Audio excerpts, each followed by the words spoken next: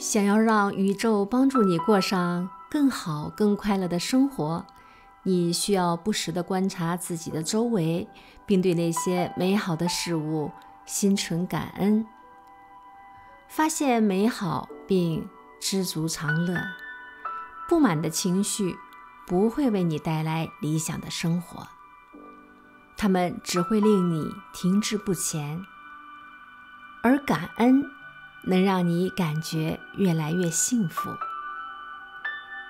记住，你就是一块磁铁，只有感恩才能吸引感恩。